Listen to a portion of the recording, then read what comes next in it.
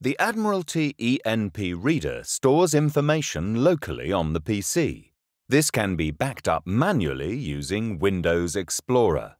To back up the ENP Reader, open Windows Explorer. For Windows 7 and 8.1, users should navigate to the folder C colon backslash program data backslash UKHO.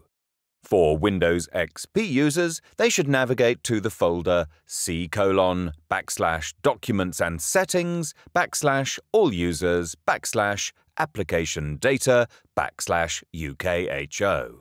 Select the DPF folder and right-click to copy this folder to another location to back up the ENP Reader local data store.